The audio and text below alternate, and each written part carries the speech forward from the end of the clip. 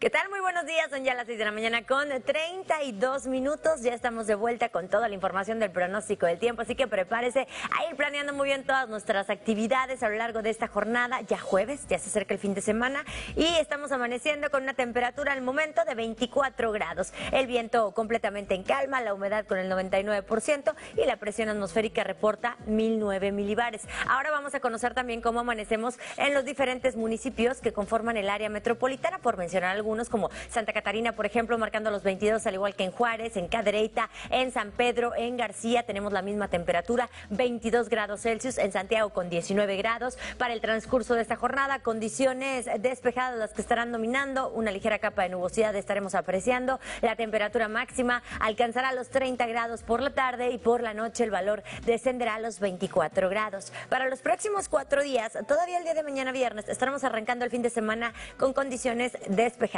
muy escasa nubosidad. El sábado nos llega algo de nubosidad, ya para domingo y lunes pendientes con esto que aparece la posibilidad de lluvia. Alrededor de un 40% es el pronóstico de que lleguen a registrarse estas lluvias en Monterrey y su área metropolitana, provocado por el acercamiento de un nuevo frente frío. Las temperaturas máximas siguen estables en valores de 29 y 30 grados y las mínimas en 20 grados Celsius al amanecer.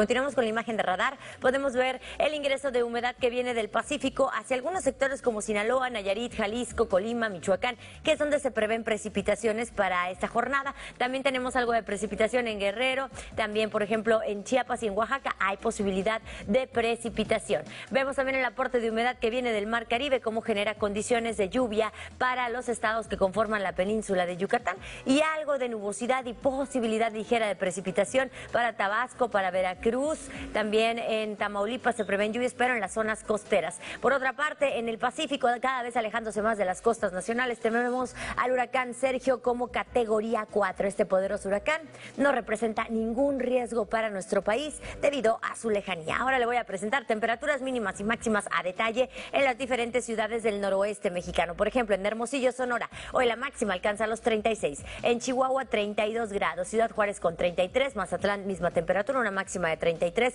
con escasa nubosidad. Nos vamos ahora a Guadalajara, un cielo despejado también. La temperatura máxima alcanza los 28. En Veracruz se prevén lluvias con una máxima de 30. Ciudad de México con 24. Condiciones de nubosidad en Campeche y en Cancún. En Campeche tenemos posibilidad de lluvia. En Cancún la máxima llega a los 31 grados. Al noreste mexicano, nubosidad variable. Bajo el pronóstico de lluvia para Coahuila y Nuevo León. En Tamaulipas, algo de nubosidad también dominando. Y las temperaturas máximas entre 26 y 33 grados. Hoy completaremos un total de luz solar de 11 horas con 49 minutos y le presento la siguiente fase lunar que cambia el lunes, lunes 8 de octubre a las 22 horas con 47 minutos a luna nueva. Hasta aquí con mi reporte, vuelvo más adelante, no le cambie. Buenos días.